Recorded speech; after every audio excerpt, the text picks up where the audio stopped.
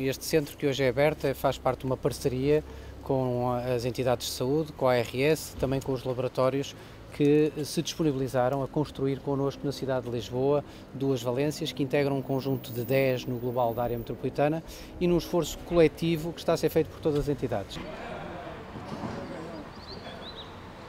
Vocês.